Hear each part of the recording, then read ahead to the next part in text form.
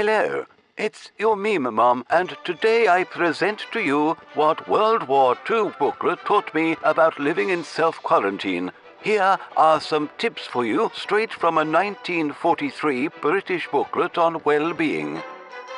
Be regular in your living habits. A watchmaker will tell you that a watch will keep better time if it is wound up at the same hour each day. The sun rises and sets at regular intervals. With unfailing regularity, spring comes after winter. Nature sets us an example in being regular in her habits.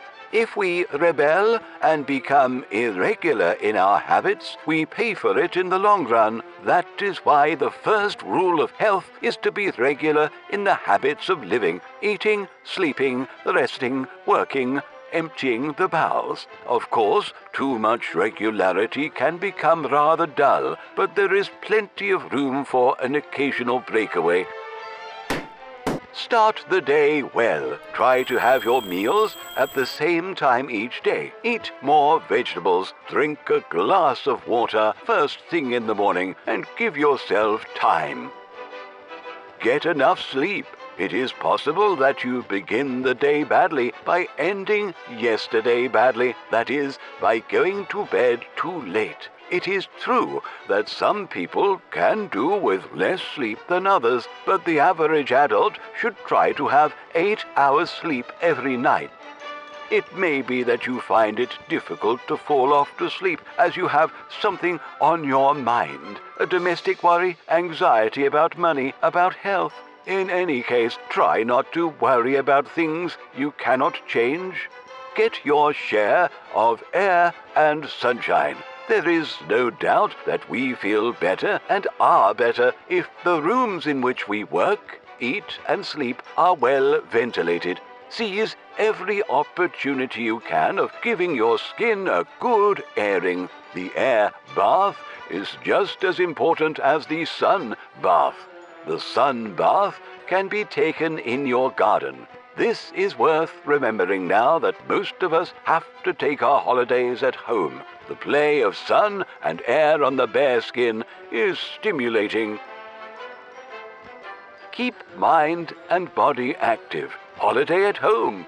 For your spare time and your holiday, you should aim at two things. The first is relaxation, the second is change. Change itself will help you relax, and it need not be a drastic change. You may not have been to a concert or to a theatre for months or even years. Possibly you have never thought of looking in at the public library. Do something different.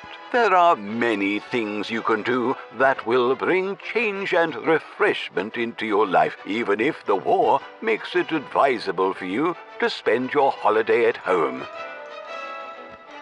Make the most of spare time. It is just as necessary to relax mentally and physically during the ordinary working week. What is needed, whatever your work, is change of activity, something that will exercise those of your muscles that you haven't been using during the day. Muscles are meant to be used. Those masses of muscle on arm, leg, thigh, back, and belly, they are there to be used. If they are not used, they will sooner or later let you know about it. Choose the right food. It is probable that you already know a lot about food and food values. One of the benefits of this war is the more intelligent interest everyone has taken in food. But you must know what is good. What you fancy does not necessarily do you good. Drink enough water. Water plays a vital part in all chemical and physical changes in the body. Yet some people think it is just stuff to wash in. Water is meant to be drunk. Most people like their water colored rather than plain, even if the color is only that of weak tea or bad coffee. It can't be said that any of them do you any good. Few people drink enough water, so see that you get enough of it yourself. Don't pass your cold on. One way to stop germs spreading from one person's throat to another's is to isolate the infected person. If everyone at the very sign of a cold were to go promptly to bed and stay there, then the common cold would not be so common as it is, and everyone would lose much less time at work. There is a peculiar thing about germs, and that is that dangerous germs may lodge in your throat without doing you any harm, but they may prove harmful to other people. Help yourself to be well.